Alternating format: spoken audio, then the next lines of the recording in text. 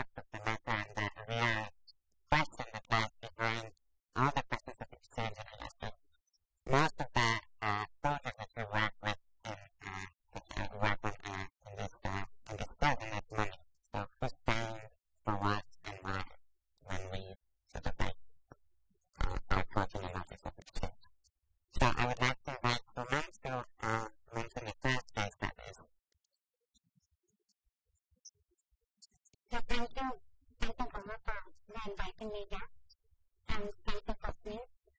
Uh,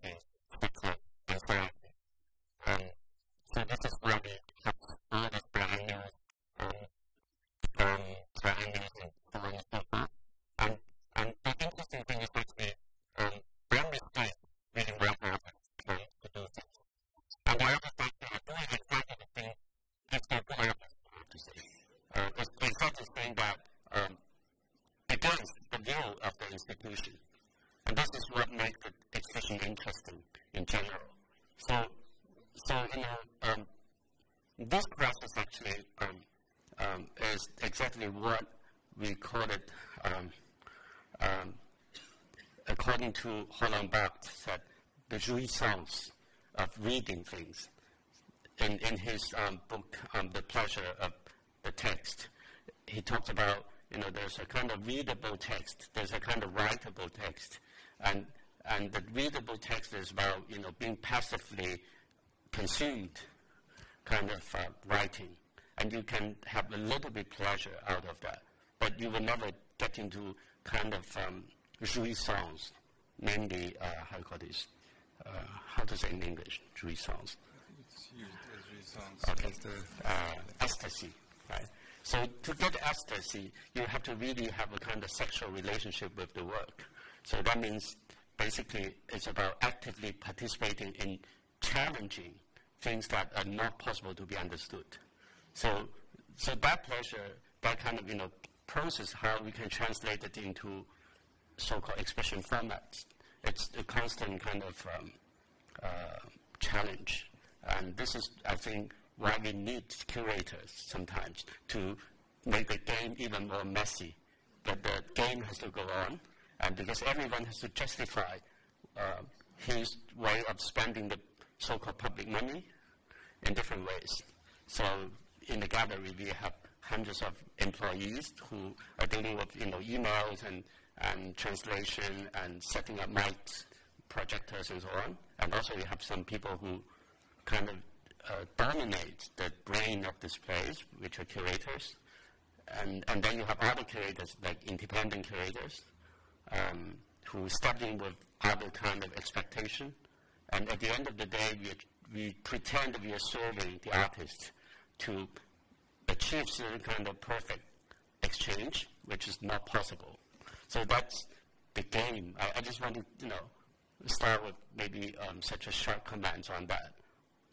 Thank you. Hmm. But I think that, uh, thank you for your points. I think that, uh, especially when there's like more and more frameworks, such as the one of, of uh, you know, exchange between regions or, uh, you know, uh, um, rather high diplomatic stakes of sort of like represent national representation or uh, you know something that fits into the politics of a city or of, or of a context.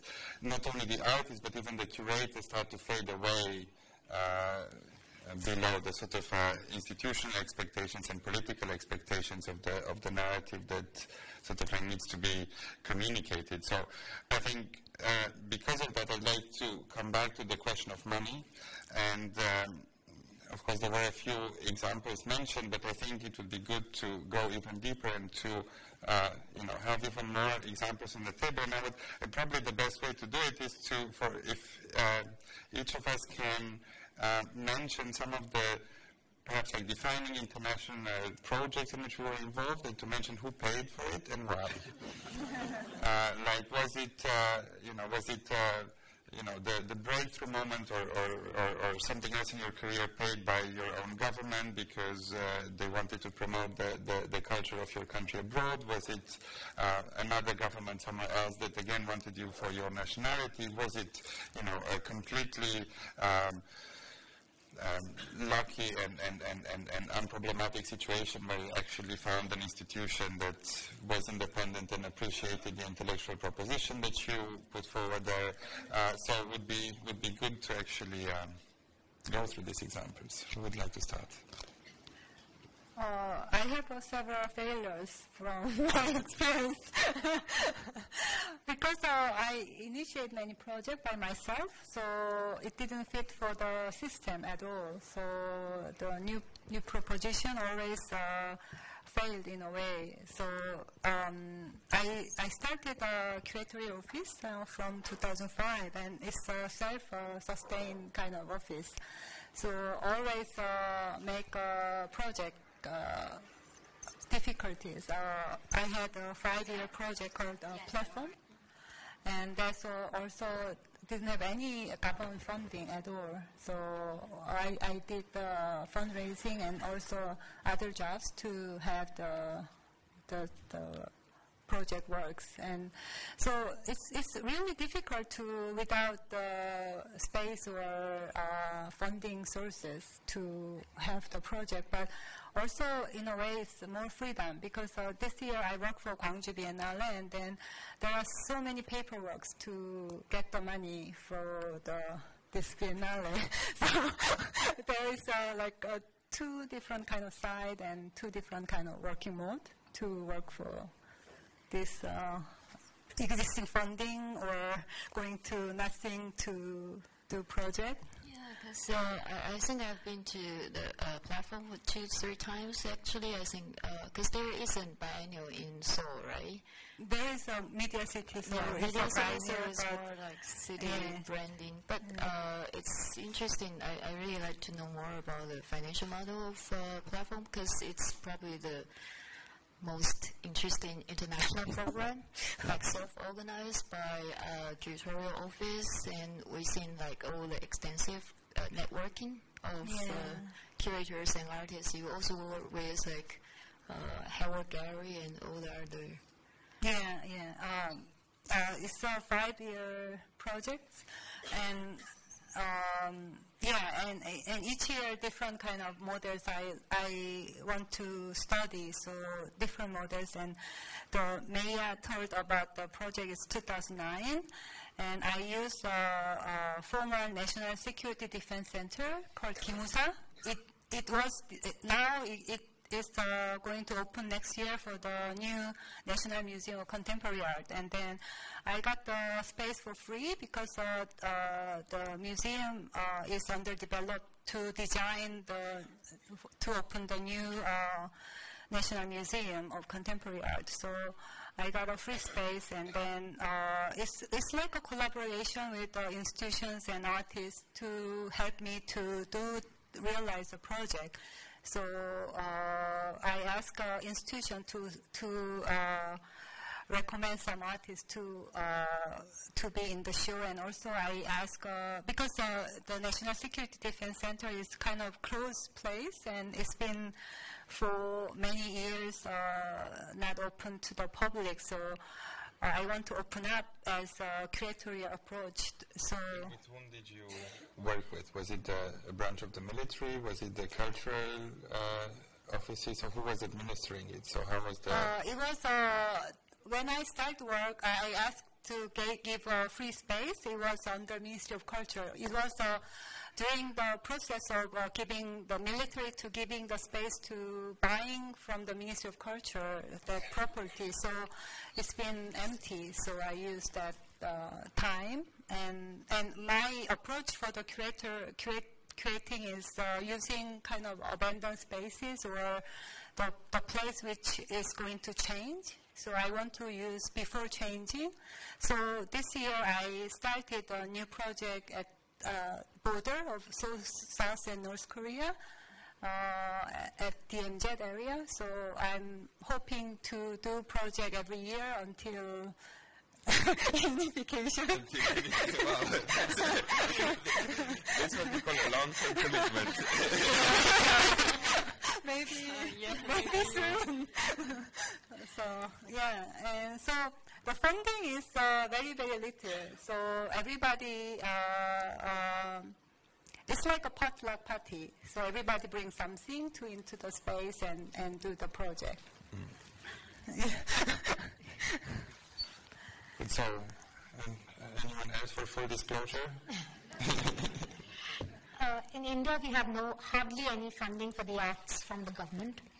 So it's, uh, I think, all, so the, the projects that I have worked on so far, it's mainly been funded by the host organization, and they have done the fundraising.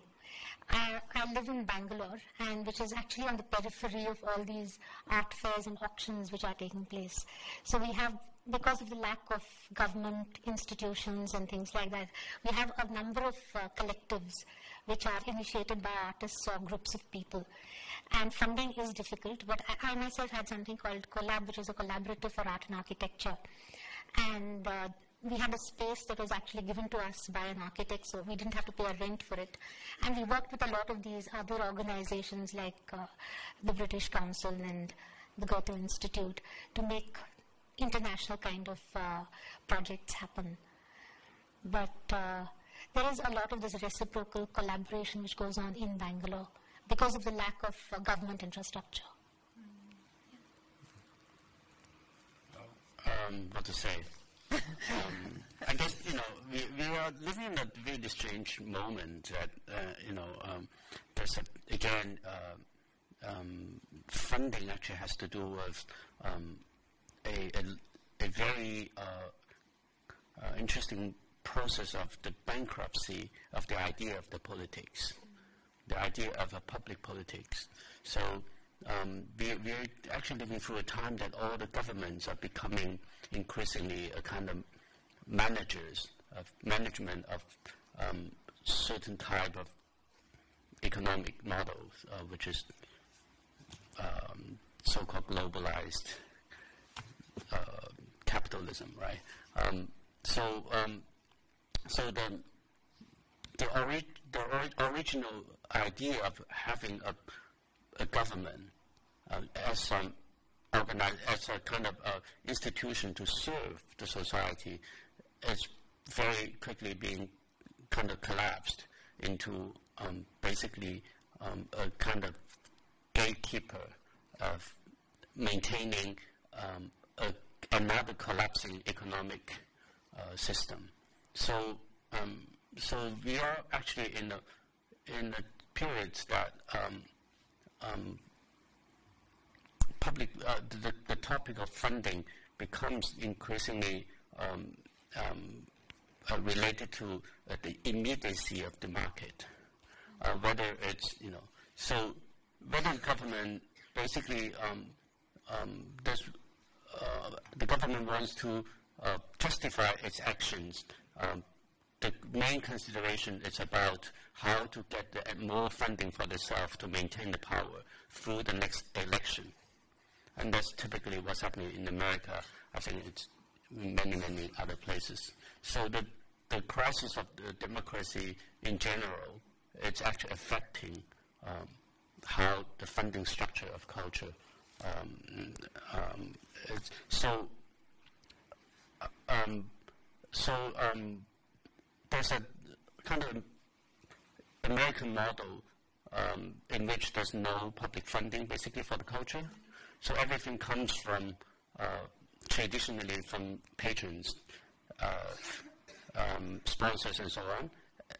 Um, no, the, traditional patrons, the, the philanthropia kind of uh, uh people. Uh, but now it's becoming sponsors. Sponsors is what? Sponsors is basically an extension of the market. Um, sponsor basically needs return, right?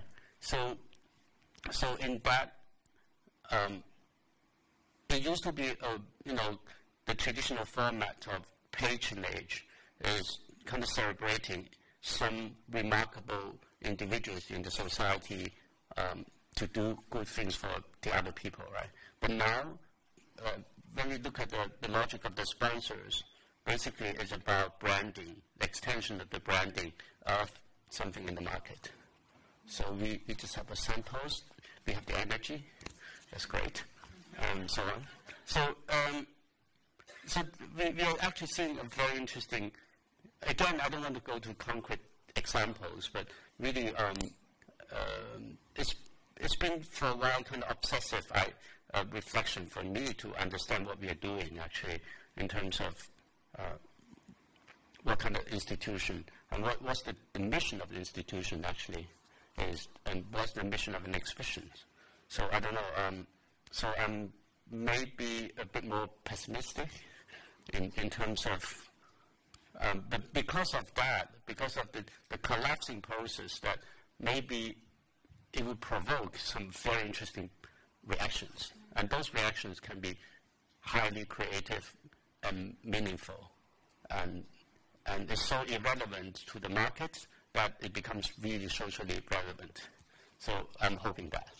But if you look at your own career and the projects that you developed in the last 20 years, do, can you see like a major shift in, in the sources of um, Yeah, maybe I, am just thinking one example, which is uh, again, it, it's um, a failure for the sponsors, and it's a success for the artist.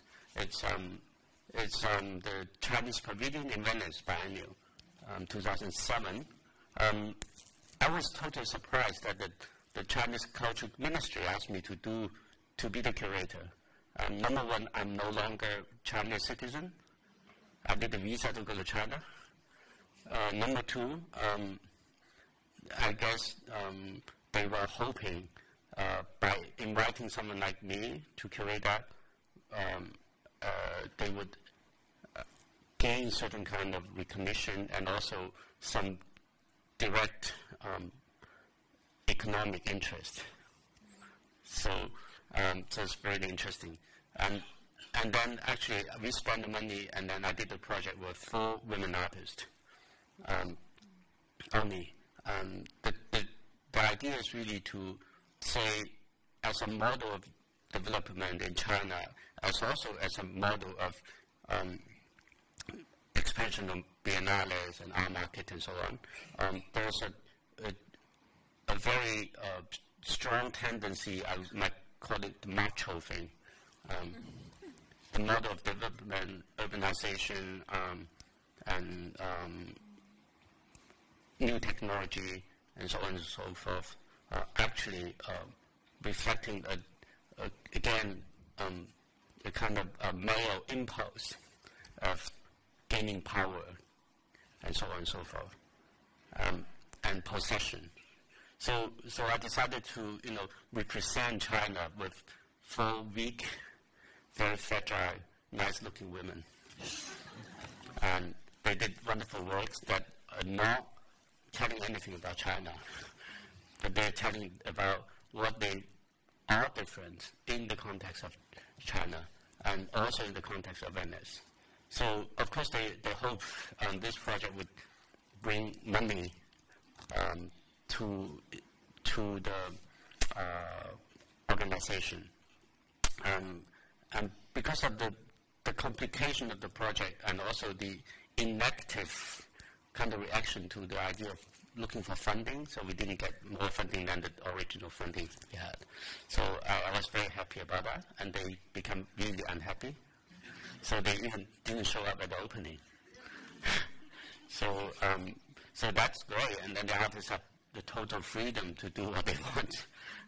so I guess you know, as a curator, some, somehow you have to think about um, on 10 years ago, uh, more than 10 years ago, when I was helping to, uh, to organize the first um, international biennial, the Shanghai Biennial in, in China, and the idea was really to, to convince the public opinion and also somehow the government to accept contemporary art as something normal, good for the society and so on, and so the artists can have a better condition.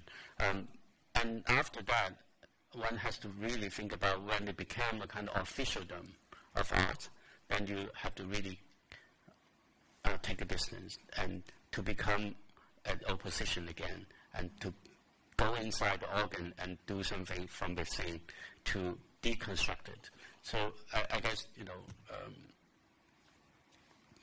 the, the job of a curate, curator somehow um, it should be kind of based on such a um, political stance, I guess. So, uh, following by that, uh, is that right? Um, afterwards, the Chinese government learned that it's a failure model. So I the, the, next year, the, the yeah. next year became uh, very funny. I was told that um, the next curator was a, um, an artist. Um, and basically he helps uh, raise money to to have the pavilion done. So I don't know. Um, and the latest but, but the, the, the, the pavilion, I mean, the, the exhibition was. I, I, don't know. I shouldn't make any comments on that, but uh, was pretty um, insignificant. think it's about time to uh, open it to the public. Would any, would any of you would like to, to mention anything else uh, before? Or I think then we're ready to take questions from the audience. And can, can we have more light on the audience as well? Hello. Thinking of the topic two decades of exchange, historically, I think that cultural exchange in Australia has been framed as being from nation to nation.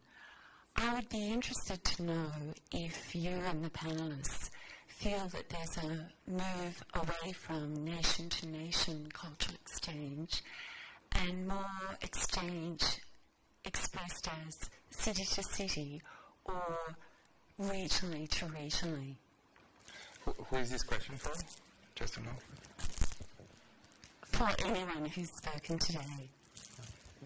Actually, uh, last year was a Korean and Australian year, and, and um, I collaborated with Gertrude uh, uh, for the show called City Within the City. Uh, it was a show to exchange uh, for the uh, uh, two countries, how can I say, exchange year.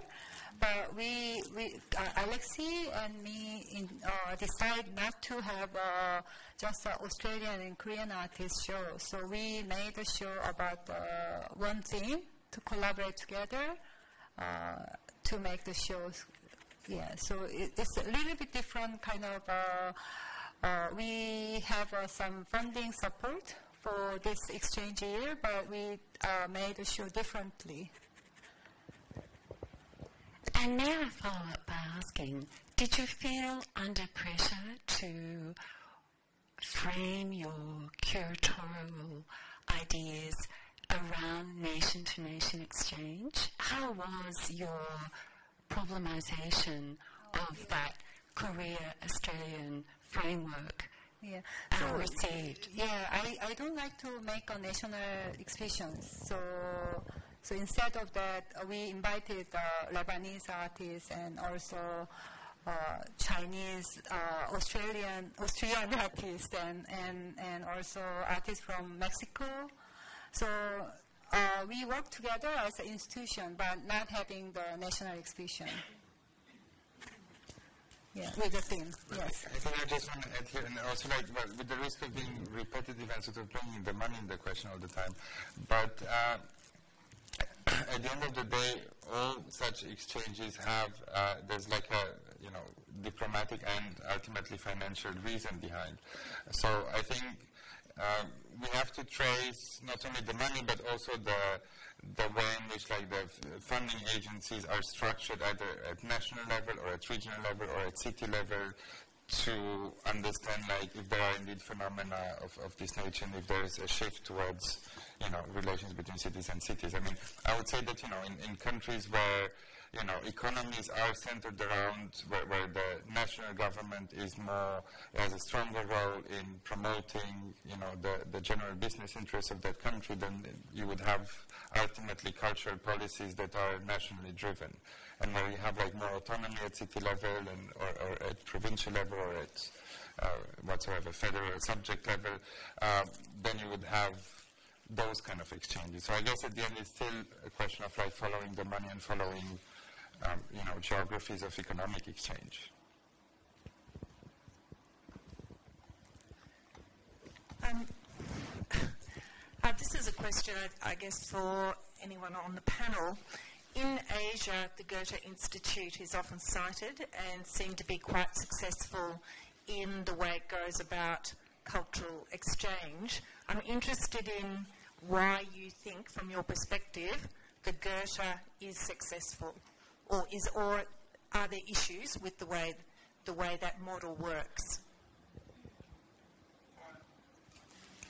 Actually, I have worked quite extensively with the Goethe Institute in um, in Bangalore, and I think one of the reasons I continue to work with them is because they're generous and there aren't strings attached.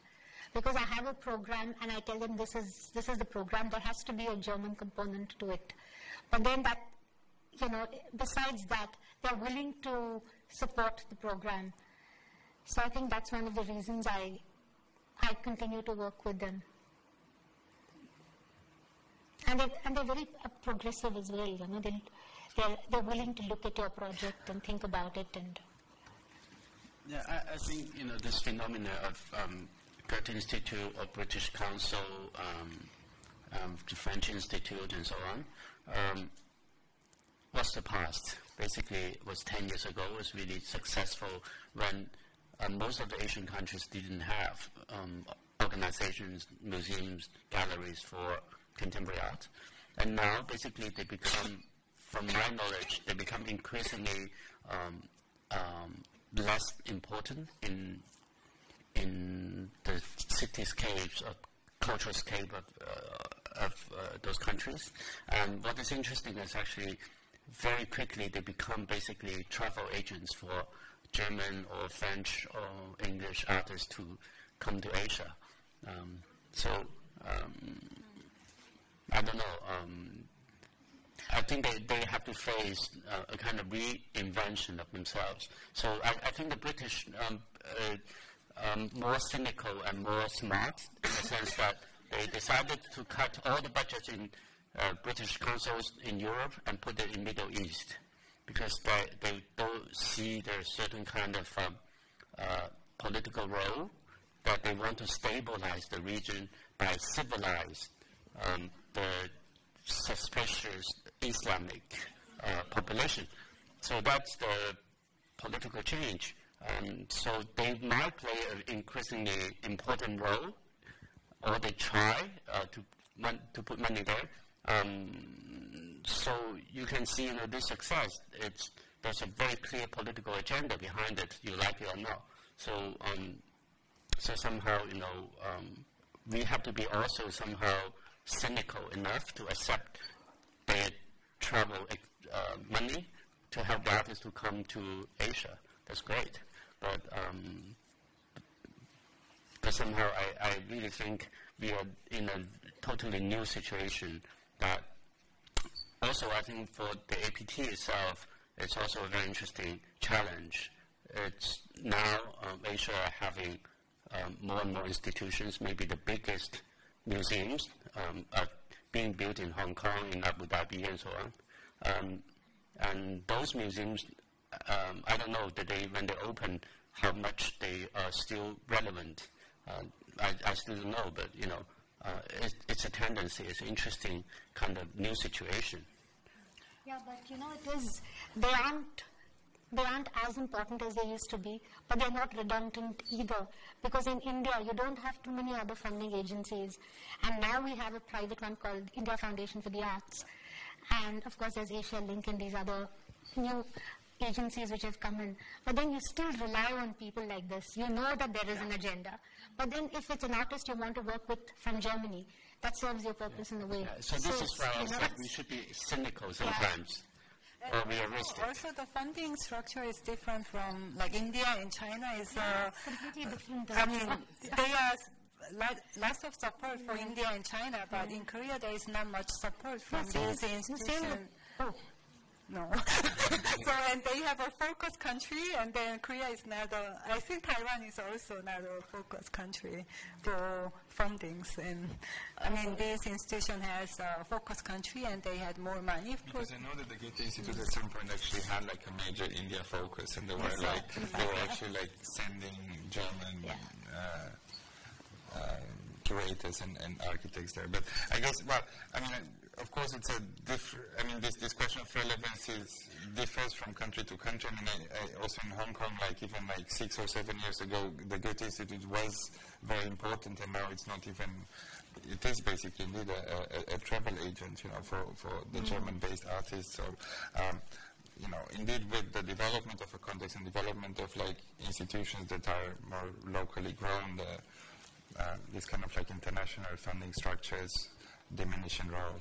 I mean, I think, well, if we talk about Goethe, there's of course a difference in between these institutions because the uh, French Institute is more of a you know, like clear agenda for French nationalism and, and you know, uh, uh, uh some glory of a, of a, faded empire. And the British Council is also more of a shameless uh, promoter of, of, of, British economic interests, and it's very actually honest about it. And I would say that the Goethe Institute is much more of a you know, product of the German industry of guilt, and it has a more humanistic agenda that is maybe less immediately pragmatically pragmatic uh, minded. But yeah. Actually, actually, I'm uh, I'm working on the uh, publication sponsored by Goethe Institute. the whole project is called um, Europe to the of No, no, no. And actually, it's a project that uh, uh, from the internal of Europe to discuss like Europe as EU as a political economic unity there's like lots of contradictions and lots of like uh, varieties, like culturally, socially, politically.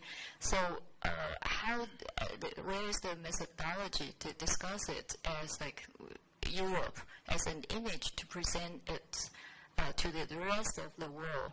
And then they have to look at it from the outside of Europe, like, uh, of course, from China, because uh, there is an interesting um, like um, let's say phobia mm-hmm. uh, uprising in Europe. So if you see the uh, so sort of the inter um, the distance between these two different uh, from outside of Europe to see why in short just how to look at each other something like that. I mean it's funny that whenever there is a, a region uh, um, with like crisis of uh, economic or political crisis, there's always right away let's talk about this.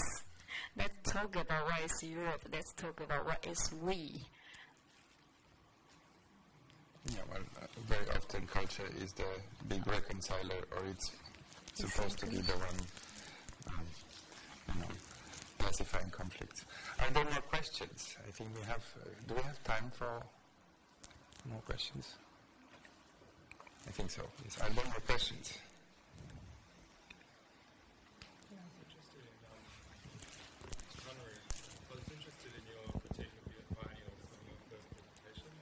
Maybe wait, wait for the mic.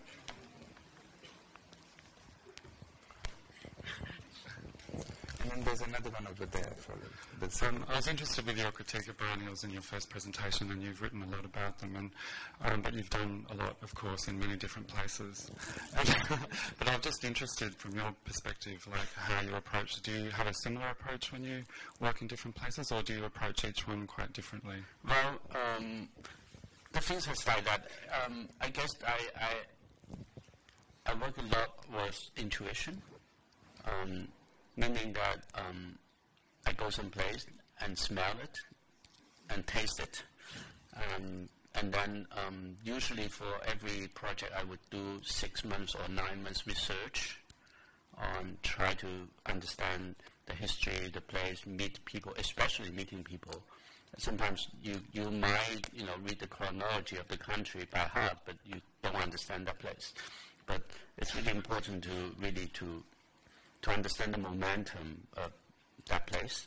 Um, so every project actually started from zero almost. But there's some kind of, um, again, because um, nobody can escape from what he has learned before. So, so some, very often there's some kind of, you know, coming back to certain references that, you know, um, I'm familiar with. And so over time, after curating somehow some 20 something biennials, um, um, I found there's some uh, major questions remains central to all this project. The question of locality, the question of resistance, the question of um, increasingly um, kind of you know uh, defending uh, public sphere um, and also defending the right to difference and so on. And I, I think that become um, a kind of a recurrent position taking uh, in all these projects. So, um, so over time, when you really look back for the two decades or something, um, I, feel there there are certain anchor points well um, uh, reflect maybe how the idea of contemporary art as a as a, a public sphere um, um, is being globalized uh, in different conditions. But there's there's this interesting kind of um, interactions and, and tension among all these projects. So I think that that's what I can say. There was another question over there.